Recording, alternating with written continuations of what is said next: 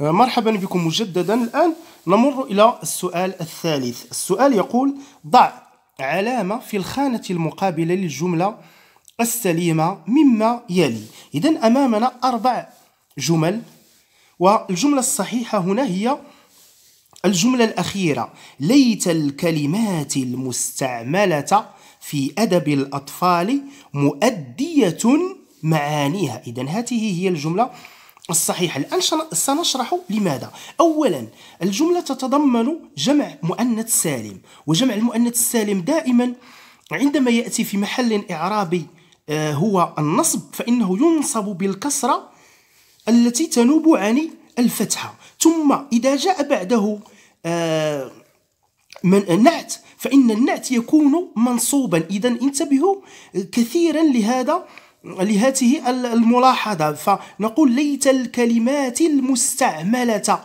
وليس ليت الكلمات المستعملة.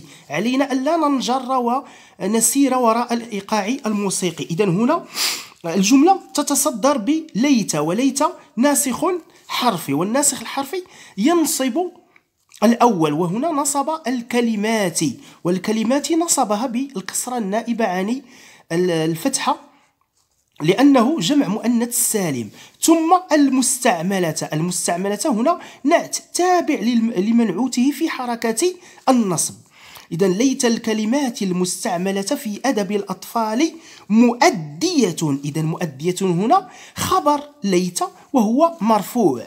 ونعلم أن النواسخ الحرفية تنصب الأول ويسمى اسمها وترفع الثاني ويسمى خبرها. لذلك فهنا مؤدية مرفوعة. إذا هذه هي الجملة الصحيحة. ثم السؤال الثاني السؤال آه، عفوا السؤال الرابع يقول تبعا للنص. اذا هذا الجواب عن هذا السؤال فهو حسب النص. علينا أن نطلع على النص لكي نجيب عنه. اذا ما هو السبب الذي يجعل القراءة مهمه مهمة صعبة أو لا يجعل يجعل القراءة مهمة صعبة على الأطفال.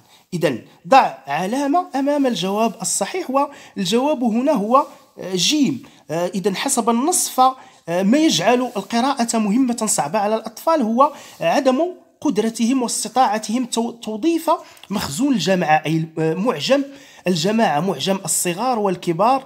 في عدم قدرتهم على توظيف مخزون الجماعة اللغوي كله بمعنى أنه يرى أن الأطفال مستواهم اللغوي فهو بسيط ومعجمهم فهو آه، آه، فهو بسيط أيضا. آه، السؤال الخامس سؤال متعلق بالمصادر مصادر الأفعال الثلاثية وغير الثلاثية. أول فعل لدينا كرم إذا كرم على وزن فعل وكل فعل غير ثلاثي على وزن فعل مصدره يكون على وزن تفعيل. إذا كرم مصدرها هو تكريم. ثم لدينا أكرم. أكرم على وزن أفعل وكل فعل على وزن أفعل يكون مصدره على وزن إفعال.